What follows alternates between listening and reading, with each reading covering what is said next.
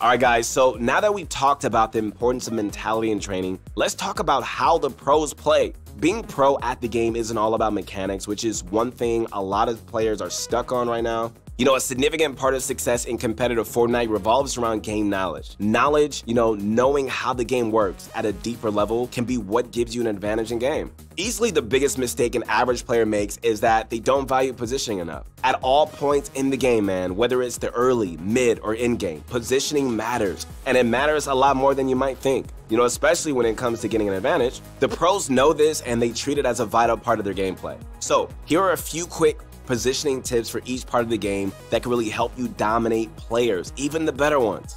During the early game, you want to look to start fights on natural high ground, like rooftops, for example. Like players are less likely to spot you, and you're going to have the high ground advantage once the fight starts. This can really give you guys the upper hand that is really needed to really get those important early game frags. You also need to make sure that you land on a chest or right on a gun so you can win while contested. You know, during the mid game, placing yourself in the center of the zone will reduce the number of rotations and distance you need to travel. You just need to make sure that it's a safe position toward the center, not one where every player in the lobby has an angle just to spam you down. So look for an already existing structures or hills to really cover yourself with. During the end game, the high ground plays an important role in the outcome of the match. So taking and holding height keeps you safe, you know, just really opens up a bunch of kill opportunities for you. This is how a lot of top pros are able to consistently win matches. You know, they make it to the end game and then close out the match by taking control of height. What's important to note is how and when they go for height. First, you want to use some mobility to get into the optimal position, aka inside the safe zone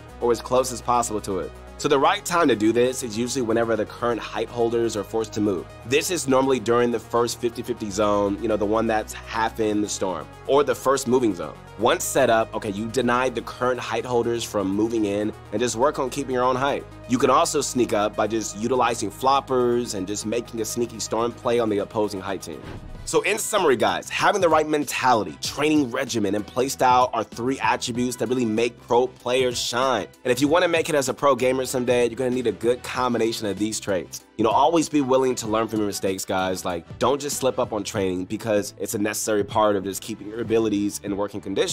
Always be looking to improve your knowledge of the game because there's more to success and competitive than just having good mechanics. So utilize Pro Guys to become the best that you can be. And we really hope this video really helps you guys dominate the new season. Speaking of which, you can always check out the rest of our channel for more tips and tricks. Once again, this is your motivation guy, Keith Allen, who believes in you. I am your number one fan, man, so keep going. Don't ever quit. Like the video, subscribe to the channel, and uh, I'll connect with you soon. You connect to me on my Instagram at Your Motivation Guy. We'll see you on the next one. Peace.